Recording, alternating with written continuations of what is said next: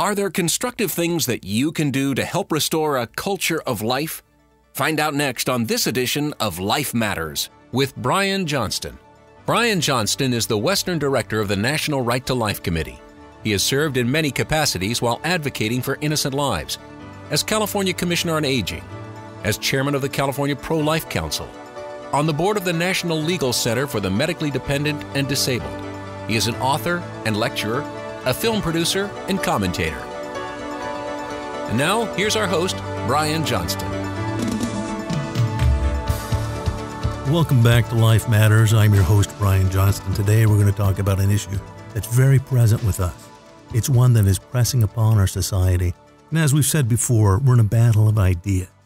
Don't let these ideas just come at you and be dismissed. Don't forget that ideas that are enforced are called laws. And the laws that are now being entertained in many states, in California, Oregon, Washington, and others, now allow for a physician assisted suicide. This issue is of critical importance.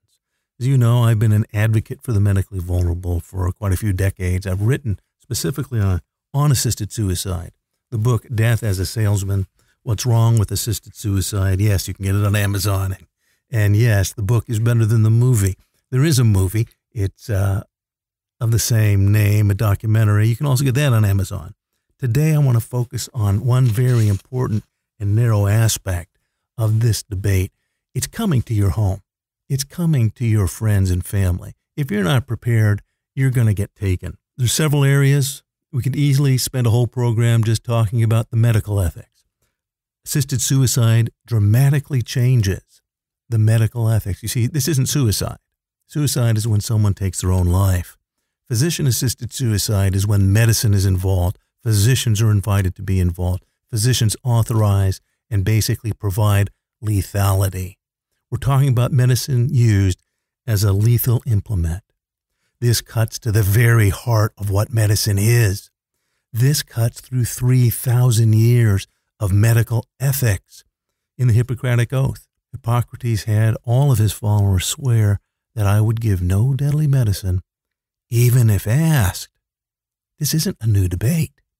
See, doctors know a lot about the human body. The ability to use their skill to quickly end a human life has always been available. But if it's now authorized, now the physician becomes a terrifying member of society.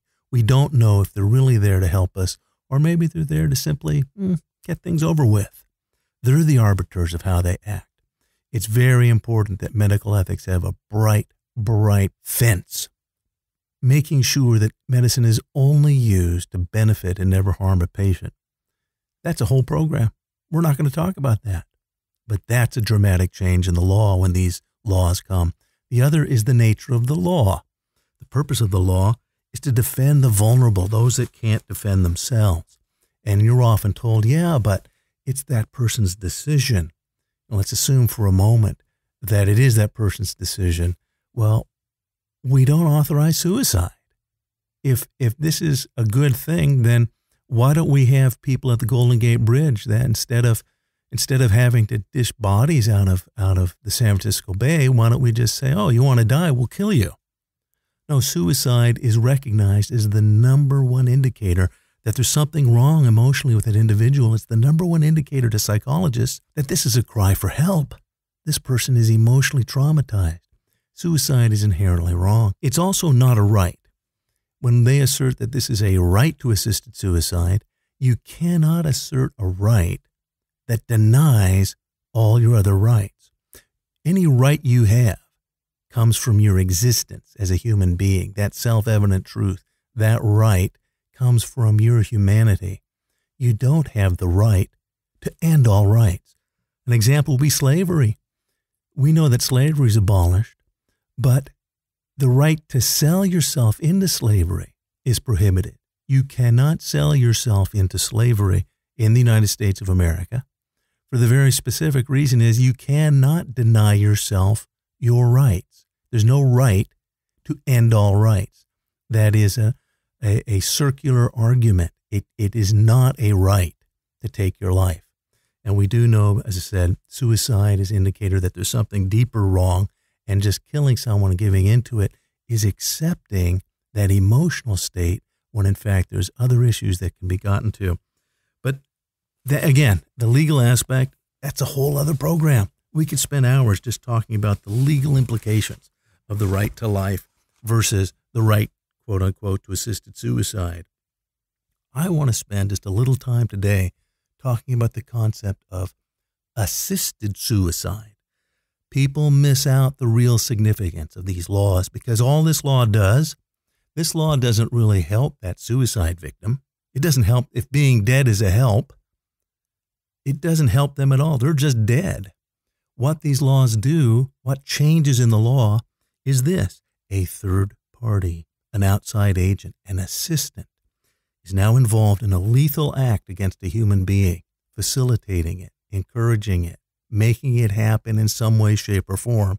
An assistant is involved in killing. That assistant can walk away without any investigation, without any implications. That's what legalizing assisted suicide does. It frees the assistant. It doesn't free the patient. The patient is simply snuffed. That's not freedom. If it is, then then I guess the Nazis were freeing people in those death camps.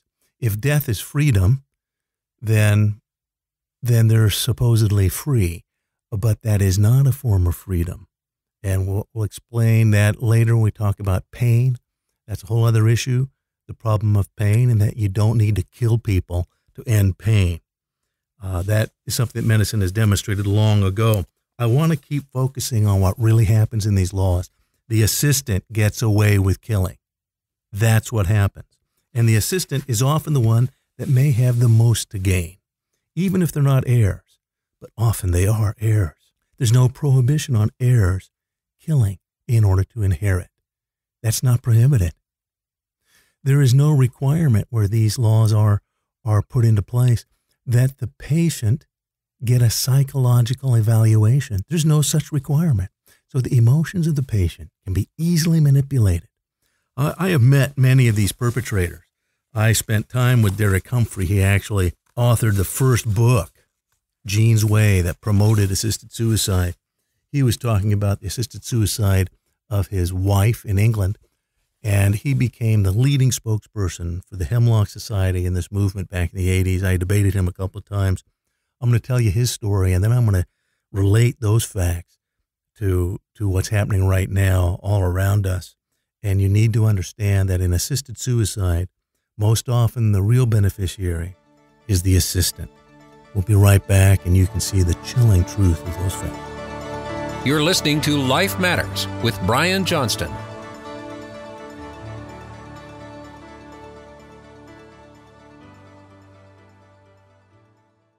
Well, you know that Life Matters is about life culture and the battle of ideas. In no place is the battle of ideas more evident than in Hollywood, California. I have on with me Bo Bryant. He's the communications director for the Life Fest Film Festival. Hey, Bo. Hey, Brian. How are you doing? Great. Hey, tell us about Life Fest, what it is, and what happens. Okay, so Life Fest is the film festival dedicated to showcasing films that affirm the intrinsic worth of human life and the profound significance of each life. So, Life Film Fest is based in the heart of the entertainment industry. It's in Hollywood, California, and it takes place every year. So, this year it takes place from May 4th to May 7th, 2017. So, that's the first weekend in May. And really, what it is, it's about bringing together experienced Hollywood professionals with those just mm-hmm. starting out in the industry so that we can really showcase films that affirm life, life culture, and really engage in the battle of ideas. Awesome. That is excellent. How, how can folks get in touch with LifeFest? We're always looking for volunteers. We're looking for people to sign up, or if you have a film that you'd like to submit and have it shown there, you can find all of our information at lifefilmfest.com. So that's lifefilmfest.com lifefilmfest.com. That's Life Film Fest, and we hope to hear more from you, Bo, and Life Film Fest. Thanks a lot. Talk soon. Awesome. Thank you. Find out about the exciting cultural change impacting Hollywood. Go to lifefilmfest.com.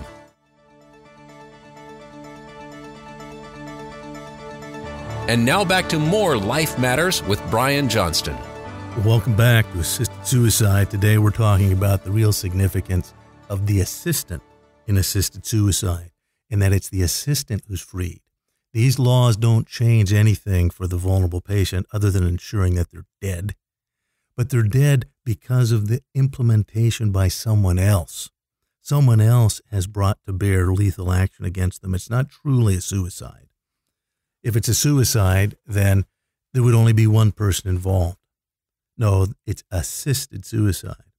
I want to read to you from his very first book, Derek Humphry, the father of the modern assisted suicide movement. Again, I've debated Mr. Humphry uh, on several occasions, and it's very clear that his motives were a little bit mixed. And he admits as much when he talks about the killing of his first wife, Jean. He describes that she would ask him regularly, Darling, is this the day? Now, again, if you've ever been around someone seriously ill, it's very easy for them to be depressed. It's very easy for them to look to someone else for encouragement and involvement. If we don't respond properly, we can easily send the wrong messages.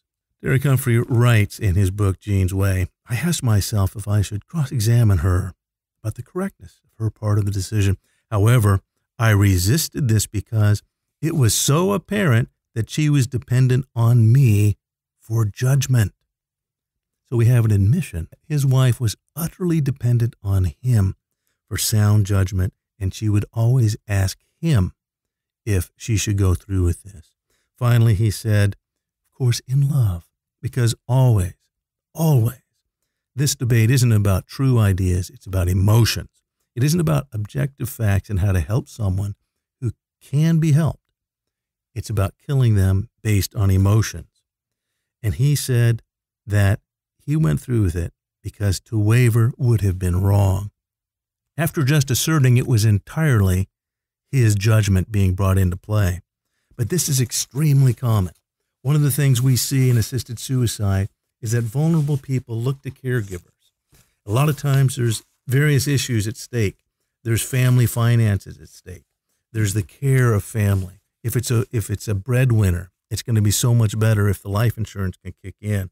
The whole emotional suffering, the even if it's not financial, there's a certain benefit to the caregiver that they no longer have to change the chucks, you know, the adult diapers.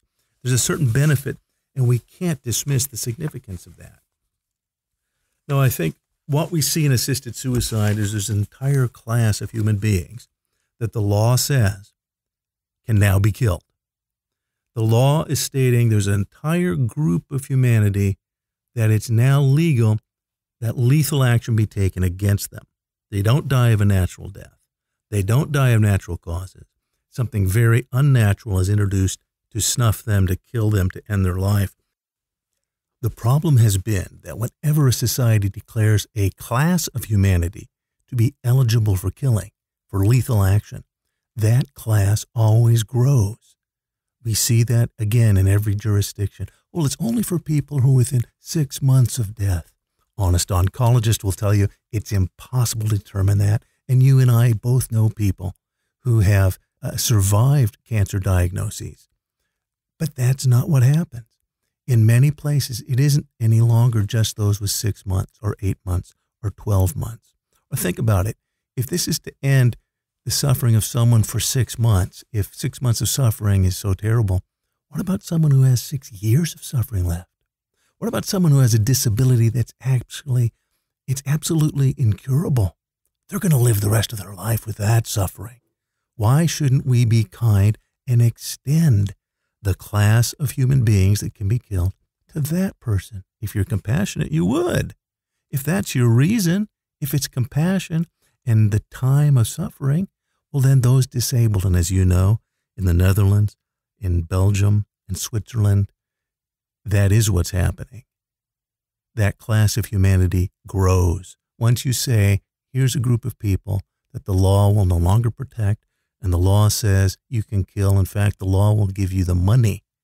They will pay for the deadly medicine. That class of humanity only grows. And there's a, a participant, an outside agent, an assistant who's implementing or facilitating or somehow causing that to happen. As I said, very often you will find that there's some benefit that can come to that assistant through this act, whether it be financial or emotional. And this is something that's recognized by a lot of advocates of assisted suicide. Margaret Battin is an advocate of assisted suicide and rational suicide. I've debated her several times on radio and met her in person. She, again, is a thought leader, again, this battle of ideas. Margaret says that once we do legalize suicide and assisted suicide, it, quote, gives rise to the possibility of large scale manipulation of suicide and the maneuvering of people to choosing suicide when they would not otherwise have done so. This is the other, darker side of the future coin, she says. Now, she's willing to take that risk. But are you? Should society risk that? That's the very reason assisting suicide has been against the law. It is too easy to manipulate. It is too easy to have mixed motives. Just not having that person around is an incredible motive because ultimately, assisted suicide isn't necessarily for those that we care for. It actually is put in place for those we no longer wish to care for. Now, the fact is is that assisted suicide is romantic to some. It's been romanticized. But this public policy now that's being changed makes it a utilitarian policy. It was uh, for California's legalization. There was a young woman in California. Her name was Brittany Maynard, and she wanted to kill herself. Now, the illness that she had, she had blastomas of the brain, a cancer of the brain, and it was implied that it was incurable. But in fact, at the very time that she was becoming a media sensation, Duke University Medical School had cured that very illness. And I'm not sure if she was told that. And yet it was presented as a romantically appropriate thing to do if you're seriously ill, if you really loved her. You'll also note that Brittany Maynard was one of the few young women that uh, have been presented, and she was used, as so often is used in marketing, as a pretty girl to sell things, to, to get our emotions sympathetic with her. But we don't know what she was told by her husband, Dan Diaz. We do know this. We know that she had set a date of November 1st. And yet, and, and built up to that date for months, it was in all the newspapers, it was in all the magazines. She was going to choose her date to die. The day before, she made a public announcement on YouTube that she wanted to put it off, that she would push back the date. She had a change of heart. Yet the next day, we merely got an announcement from the family. She's dead. She went through with it. We have no idea what she was told. We have no idea the kind of counseling or emotional support or emotional direction or perhaps manipulation. We don't know. We do know that she said she was going to push it back, and yet she was dead. So something something very serious about allowing a third party, particularly if it is a family member, particularly if it is someone who's going to benefit in some way, shape, or form. Because ultimately, when we look at pushing assisted suicide as meant for someone we care for, in many ways, it can be used for those we no longer wish to care for. We no longer want this burden. It's going to be so much easier. So the assistant in assisted suicide is the one individual who's freed. That's the significance of these laws is that the one person who gets some benefit, the one change, is you can no longer prosecute or even investigate an individual involved in an assisted suicide. This has thrown open the door for abuse. We've seen abuses every jurisdiction in Oregon, in Washington, in the Netherlands, in Switzerland, in Belgium.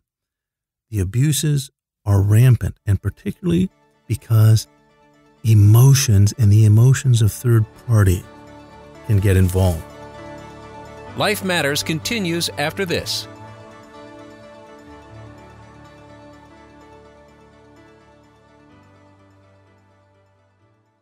Well, you know that Life Matters is about life culture and the battle of ideas. In no place is the battle of ideas more evident than in Hollywood, California. I have on with me Bo Bryant. He's the communications director for the Life Fest Film Festival. Hey, Bo. Hey, Brian. How are you doing? Great. Hey, tell us about Life Fest, what it is, and what happens. Okay, so Life Fest is the film festival dedicated to showcasing films that affirm the intrinsic worth of human life and the profound significance of each life. So, Life Film Fest is based in the heart of the entertainment industry. It's in Hollywood, California, and it takes place every year. So, this year it takes place from May 4th to May 7th 7th, 2017. So that's the first weekend in May. And really, what it is, it's about bringing together experienced Hollywood professionals with those just mm-hmm. starting out in the industry so that we can really showcase films that affirm life, life culture, and really engage in the battle of ideas. Awesome. That is excellent. How, how can folks get in touch with LifeFest? We're always looking for volunteers. We're looking for people to sign up, or if you have a film that you'd like to submit and have it shown there, you can find all of our information at lifefilmfest.com. So that's lifefilmfest.com. That's Life Film Fest, and we hope to hear more from you, Bo, and Life Film Fest. Thanks a lot. Talk soon. Awesome. Thank you. Find out about the exciting cultural change impacting Hollywood. Go to lifefilmfest.com.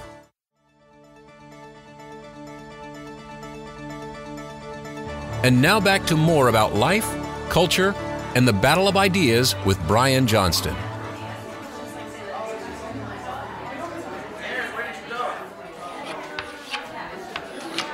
Quiet down, please.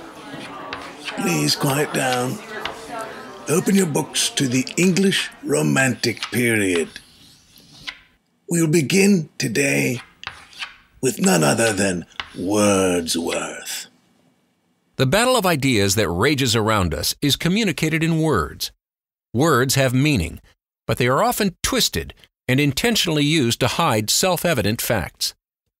Wordsworth is that part of our show that looks at the real meaning and significance of the words we use, and the words often used by others to hide deeper meanings. This is Brian Johnston, your host of Life Matters. And as you've just heard, there's a portion of our program where we talk about the meaning and significance of words and the power that words have. Wordsworth is that part of Life Matters where we examine the implications of the words that are used every day words that have great power, and sometimes that power is intentionally hidden. Today I'm going to talk about two words, words that have great significance and yet are bandied about very often at very important times in people's lives, at points of decision. One of those words is hopeless. Hopeless.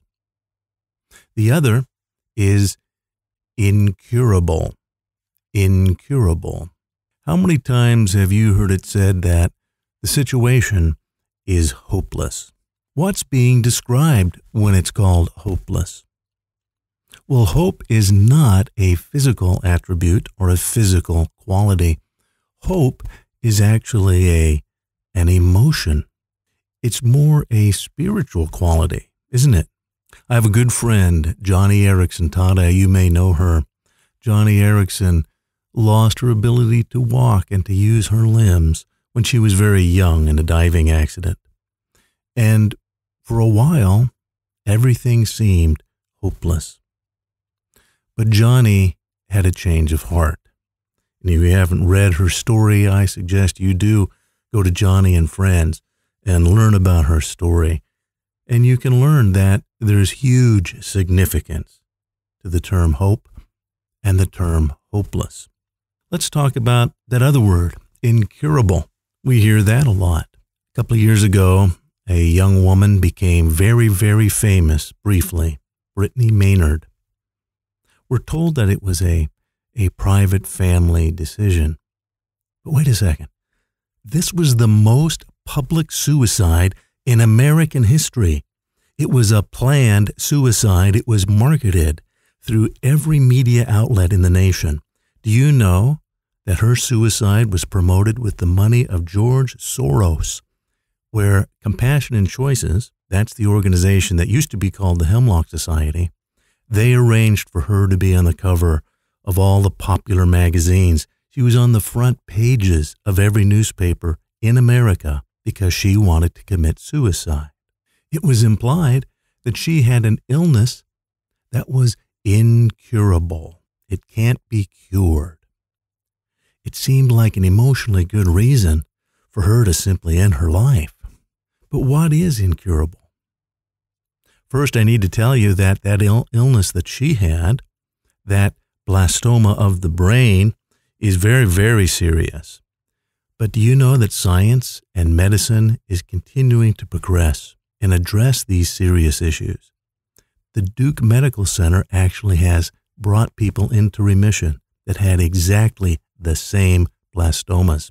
But we waited months because the announcement was made. We were marketed with the hopelessness and the emotions of this attractive young woman. These ideas were sold to us as a culture and paid for by George Soros. But, you know, Joni Eareckson Tada's situation is also incurable. And Joni Eareckson Tada is just one individual. There are millions. All of us will face difficulties in life. All of us will face challenges, and often with our loved ones and family. You must be prepared to understand the language that's going to be used. You must be able to cut through to the real meaning. You must be able to understand that if we take life and death into our own hands, we're doing something that both medical ethics and the Christian faith have taught are very, very dangerous things to do. I've been in many nursing homes in California, and I've been a hospice volunteer as well as commissioner on aging in California. I need to let you know that if you're ever in a situation that you or a loved one are in pain and the doctors are not dealing with that pain, the answer is simple. It's three words. It's not kill the patient. Get another doctor. The resources are there to deal with even the most difficult physical pain. The deeper issue are the emotions. Be prepared for the emotions. Be ready to counsel with wise counsel. Be ready to give an answer because this is a battle that's coming to you. And we want you prepared on the issues of life.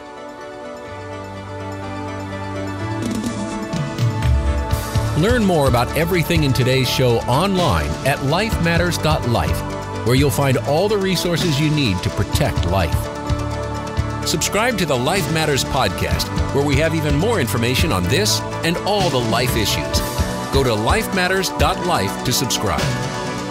Listen to more Life Matters every Saturday at 1 p.m.